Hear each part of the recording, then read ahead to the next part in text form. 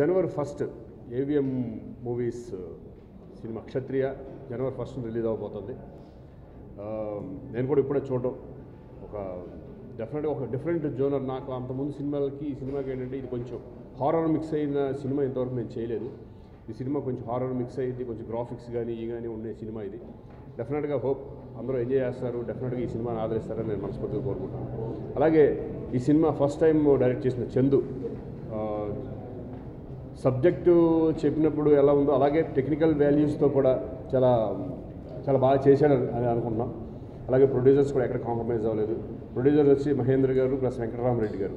వీళ్ళిద్దరూ కూడా ఈ సినిమాని అనుకున్న టైంలో అంటే కొంచెం లేట్ అయినా చాలా బాగా తీశారు. డెఫినెట్గా దీంట్లో కోటా శ్రీనివాసరావు గారి క్యారెక్టర్ కానీ రావు రమేష్ గారు క్యారెక్టర్ కానీ చాలా అద్భుతంగా అలాగే విజయ్ చంద్ర క్యారెక్టర్. ఇలా ప్రతి ఒక్కళ్ళ క్యారెక్టర్ ఒక సస్పెన్స్తో వెళ్ళే సినిమా ఇది. సస్పెన్స్ కూడా ఉంటుంది దీంట్లో. ఒక హారర్ మిక్స్ అయిన కమర్షియల్ మూవీగా సినిమా మేము అనుకుంటున్నాం. అంటే ఈ జోనర్ ఫిల్మ్ నేను ఎప్పుడు చేయలేదు.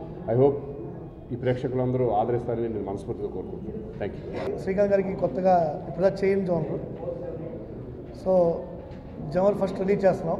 మీ అందరూ మా సినిమా చూసి ఆస్వాదిస్తారని కోరుకుంటున్నాం. సినిమా థ్రిల్లర్ అండి యాక్చువల్ బేసికల్ థ్రిల్లర్ సినిమా. ఒక డిఫరెంట్ మూవీ యాక్చువల్గా డిఫరెంట్ నిజంగా డిఫరెంట్గా ఉంటుందండి ఈ సినిమా.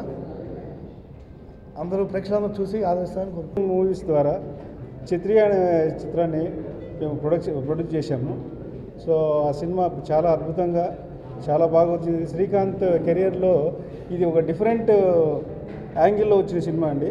ఇది చాలా డిఫరెంట్గా ఉంటుంది. Thriller and action and suspense movie అండి ఇది.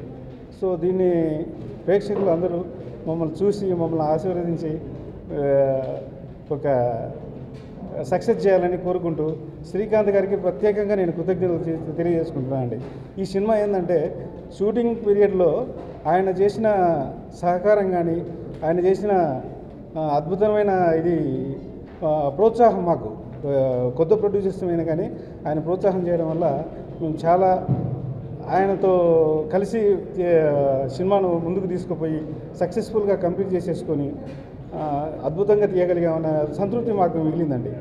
సో ఈ సక్సెస్ మాకు కానీ శ్రీకాంత్ గారు కానీ అందుకు మంచి సక్సెస్ ఇస్తారని కోరుకుంటూ శ్రీకాంత్ గారికి ప్రత్యేకంగా నేను అభినందనలు తెలియజేసుకుంటున్నాను.